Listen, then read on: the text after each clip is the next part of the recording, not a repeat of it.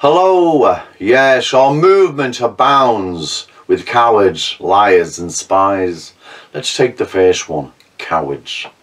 There are those veteran nationalists and those new to the movement that are still in the once mighty National Front. Uh, John, the late great John Tyndall there, God bless you.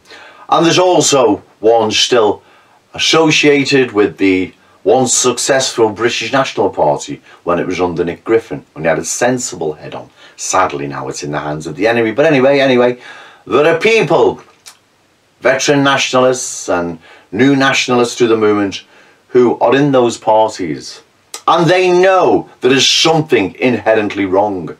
The worst case scenario, Joe Owens is right. They are indeed led by government spies. At the very least, the second scenario, the very least, is the path those parties are taking are wrong. Yet, these veteran nationalists uh, and those new to the movement remain silent, won't ruffle any feathers or rock the boat. Now all I can think of is that maybe they're frightened of getting kicked out of the little social club they're in and the life comes to an abrupt end. They're sitting there then by themselves twiddling with the keyboard on the computer. I don't know. You tell me. But those veteran nationalists and those new to the movement, whether not in the British National Party or the once mighty National Front under the leadership of the late great John Tyndall, they know, they know something isn't right yet they remain silent. And the only word I can come up with is that the cowards. Now, if you believe I'm being a bit harsh on those you know this video is aimed at, send me a message and I'll do another video and I'll say, listen, maybe I was a bit harsh there, even wrong, but I'm not wrong. Because what other explanation can there be for your silence? If you honestly believe that there's no spies, the path you're taking is the right one and Joe Owens is talking a load of bollocks on YouTube, then Christ, there is no hope for you. And you're probably wasting your time watching this video because I know you will. But Joe Owens isn't wrong. Joe Owens is spot on. Let's just say I've got a little bit of it right. Not all the spies, not even half, say a third of them are. Well, that's still a terrible indictment. And the path those once mighty and successful political parties are taking the BNP National Front, the very least, the strategies they're taking are wrong and unworkable. Yet you're still silent on that. In fact, you're going along with it. So I only have, that's the only word I can think of is cowards. Right? You're all cowards. You must be. Because you know that something is inherently wrong and yet you're silent on it. Shame on you. Then we come to the second one, liars. Let's take Nick Griffin and his Reconquista, War of the Cradle, nationalist cadres, political soldier. He knows, that's not wishful thinking or um, a pipe dream like I previously said in other videos. He knows that's lies and deceit. To believe you're going to educate this 1% that's going to have four or six children remain steadfast for 20 years, kids and all, for when the kids are childbearing age and they repeat the Lebensborn program. They continue it.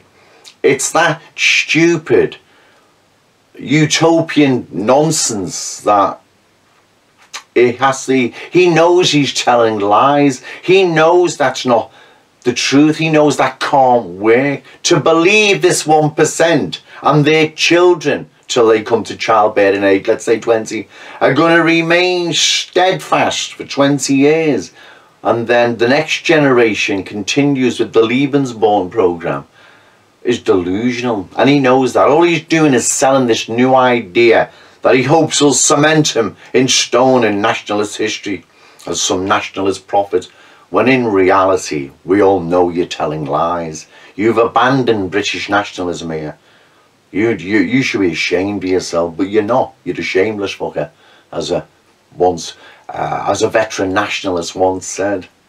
Anyway, then we come to the last one, spies that are leading our movement down a dead-end road of violent confrontation with an equally government controlled Antifa or pushing silly rhetoric that never worked 50 years ago, save the white race, make white strong again or great again, Angelo John Gage style. Get a traditional wife, you got one yet Millennial Woes? Well no, you know, and many other dead-end sayings like we must secure the existence and all the rest of the nonsense that hasn't worked for 50 years and never will. Then we have other ones that are pushing issues that 99% of the public don't care about, halal meat, sharia law, female genital mutilation and all the rest of the issues that really um, involve just the Muslim community. If they want to chop their bits and bobs off, with female genital mutilation, lead them to it, right? If they want to